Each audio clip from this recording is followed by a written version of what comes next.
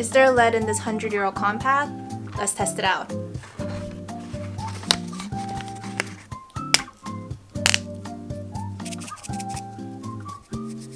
As you can see, there's already chips and imperfection in the enamel.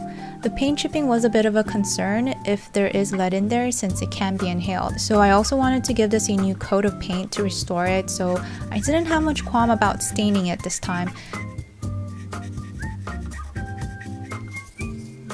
And what do you know? It's negative.